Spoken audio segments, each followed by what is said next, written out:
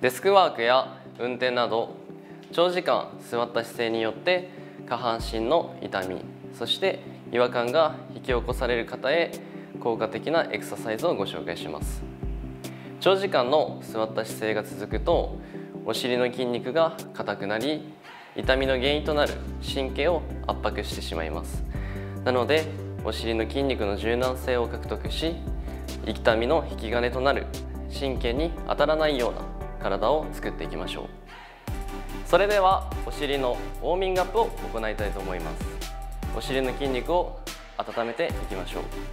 まず最初に仰向けに寝ていただいて両膝を90度に立てます。足幅に関しては骨は骨盤幅になるように。そして両手は T の字に広げていきましょう。この状態から左右に足をゆっくりひねっていきます。ポイントは痛みのない範囲で行うこととそして両肩が地面からこのように離れたりしないように左右にひねっていきます。この動作を15回。ゆっくり行っていきましょう。それでは次に先ほど温めたお尻の筋肉のストレッチを行っていきます。再び仰向けになり膝が90度になる。ように立てていきます。左足を右膝にかけていただいて前側にできた三角形の空洞に左手を差し込みます。で外側から右手を左手と合わせ手の力を借りながら足を胸の方向に引きつけていきましょう。そうすることで左のお尻の筋肉にストレッチがかかってきます。ポイントは痛気持ちいいところで止める。そして膝から足首がしっかり平行になるように意識してみてください。例えばこの膝が内側にねじれたりだとか逆に開きすぎたりしないように平行の状態を作ってみましょう。もしこの膝が開かない人の場合は開く範囲内で結構ですのでこの位置で気持ちいいところで伸ばしてください。秒数は約20秒ほど伸ばすといいです。先ほどは左のお尻の筋肉を伸ばしました。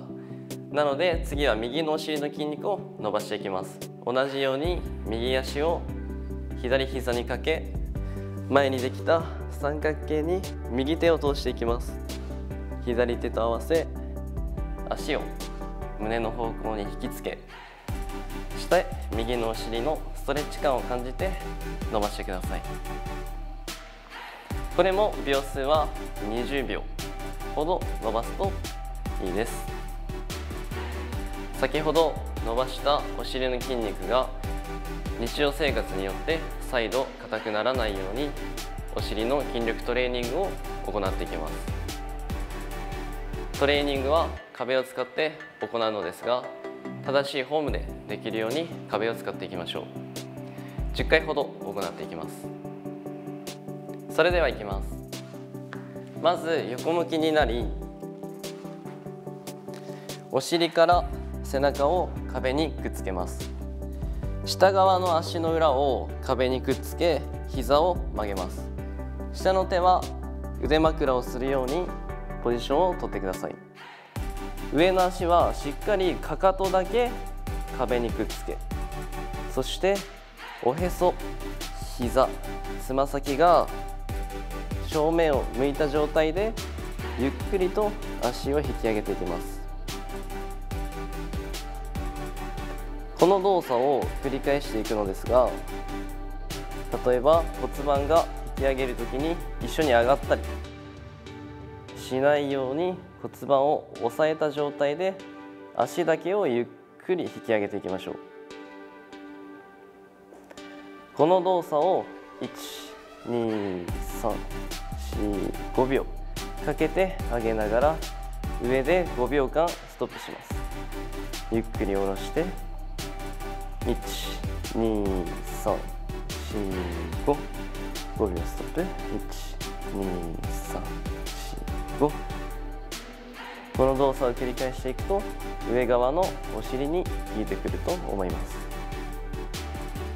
では逆側もやってみましょう。左肩が下になりお尻から背中を壁にくっつけます。下側の手は腕枕になるようにポジションを取り下の足の裏を壁につけながら膝を曲げてください。上側の足のかかとを壁にくっつけおへそ膝つま先がしっかり正面の方を向くように注意してください。この状態から骨盤をしっかり押さえ足だけをゆっくり5秒間かけながら上げていきます。5秒ストップして12345下ろしていきます。しっかり骨盤を押さえ5秒間かけながら上げていきます。上げるポイントとしては骨盤が上に上がったりだとか体自体がうねらない範囲の中で足を上げてそして下げていきましょう。